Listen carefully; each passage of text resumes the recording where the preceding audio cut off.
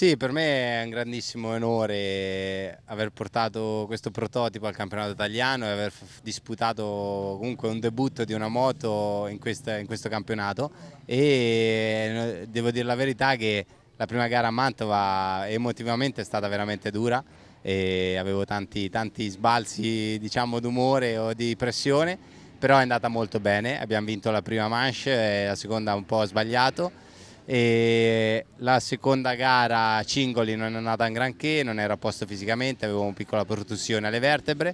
e, però adesso abbiamo sistemato un po' di cose, io mi sento meglio, quindi da adesso in avanti penso che è il momento di spingere, è il momento che posso divertirmi. E mi sento sempre meglio insieme alla moto, eh, la moto come hai detto è in continua evoluzione,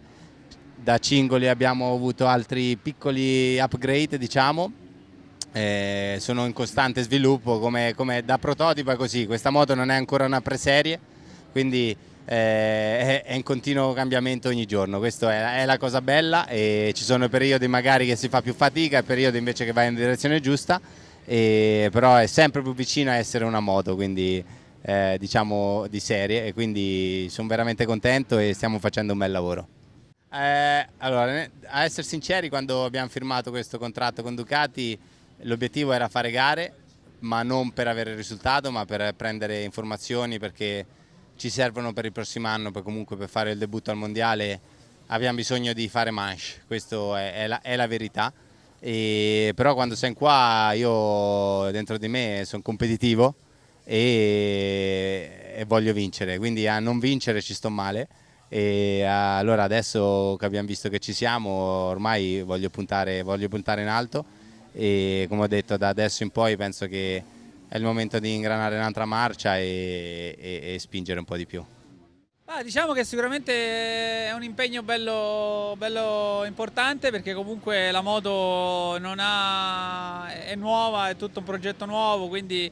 stiamo cercando di, di portarla più velocemente possibile davanti, questo è sicuramente si sta vedendo perché comunque Alessandro ha fatto delle belle gare, ha avuto un po' di sfortuna in altre, però la moto sicuramente si sta comportando, si sta comportando bene, ha bisogno di, di, di, tanta attenzione ancora, però